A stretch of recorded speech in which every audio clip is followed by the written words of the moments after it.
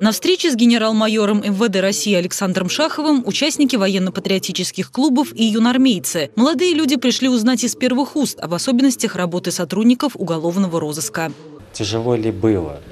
Основной вопрос. Я понимаю, что тяжко везде и всюду. Как говорится, тяжело в учении, легко в бою. Но и бывают такие случаи, что и в бою тяжело. Были ли критические ситуации, которые представляли, что нужно действовать молниеносно, по щелчку, что нужно было делать, принципе? Александр Шахов в органах внутренних дел проработал больше 30 лет. После окончания авиационного института трудился внештатным сотрудником уголовного розыска. В 1983 году был командирован в Тольятти на должность начальника уголовного розыска ОВД Центрального района. Впоследствии был назначен начальником РУВД района. Сейчас Александр Николаевич возглавляет общественный совет при управлении МВД России по Самарской области. Ведет активную патриотическую работу. Признает сообщение с молодежью в радость, делиться знаниями о профессии и помогать – это по-самарски. Это тоже, я считаю, очень важная и нужная работа. Заниматься с молодым поколением, с молодежью, рассказывать и говорить о тех ценностях, которые были и есть в целом у нашего государства, у нашего общества, у народа.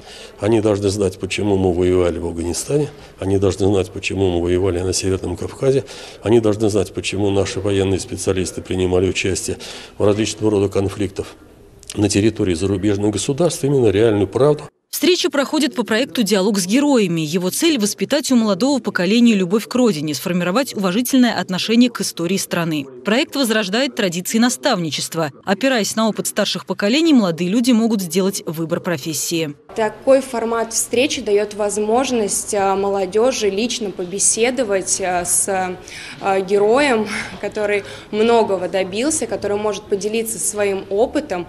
Ну и в частности, это также какая-то профориентационная работа, рассчитанная на то, что дети прекрасно могут понимать, куда они могут пойти служить дальше на благо своей Родины. Диалоги с героями в Самаре продолжатся. До конца года состоятся еще несколько встреч. Те, кто не будут присутствовать лично, смогут посмотреть прямые трансляции.